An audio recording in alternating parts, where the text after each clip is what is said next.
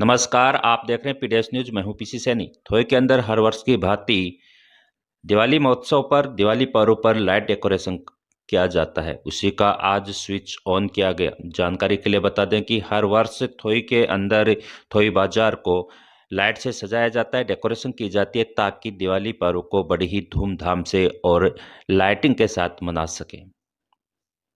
विधिवत रूप से पंडित देवकीनंदन शास्त्री के द्वारा पूजा अर्चना की गई। इस अवसर पर व्यापार मंडल अध्यक्ष, व्यापार मंडल के सदस्य, व्यापारी, जनप्रतिनिधि भी मौजूद रहे। जानकारी के लिए बता दें कि यह धनतेरस से शुरू हुई रोशनी दिवाली के दो दिन बाद तक रहेगी।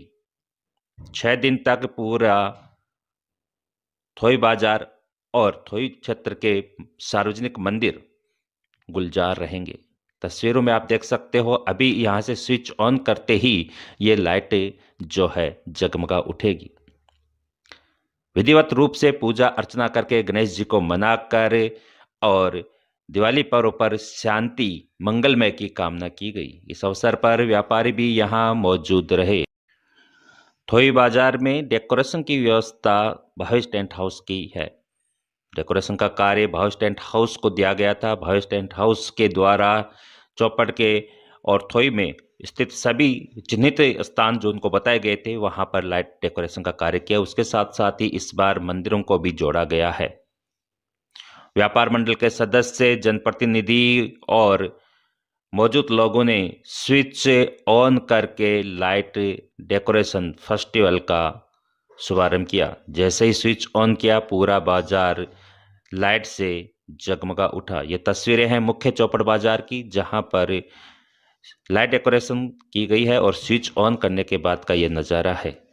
इस अवसर पर स्थानीय लोग भी मौजूद रहे, व्यापारी मौजूद रहे और गुलजार हुआ चौपड़ बाज़ार। आइए इस अवसर पर थोड़ी सरपंच राम प्रकाश सिन्हा ने क्या कहा और व्यापार मंडल ने क्या कहा? आज हमारी ग्राम पंचायत में दीपावली महोत्सव के रूप में मनाया जा रहा है। इसमें आज हमारे जो सजावट की गई थी, सात दिन के कस्बे में सात दिन की लाइट डेकोरेशन का और सजावट का जो प्रोग्राम था, उसका शुभारंभ किया गया है। और व्यापारियों का पूर्ण सहयोग है, गाँव का पूर्ण सहयोग है। हम सभी मंदिरों को और पूरे बाजारों को और कस्बे को सफ़ाई से लाइटिंग से और सजावट करके बहुत अच्छी खुशी से हम दीपावली मना रहे हैं। धन्यवाद।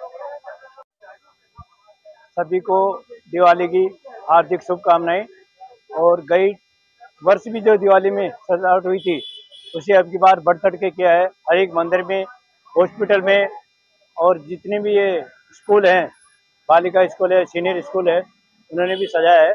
और हमारा प्रयास यही है कि पहली गई साल से। अब की बार ज़्यादा से ज़्यादा सजावट रहे और ये सभी का सहयोग से हो रहा है। व्यापार मंडल और पंचायत तरफ़ से सहयोग हो रहा है।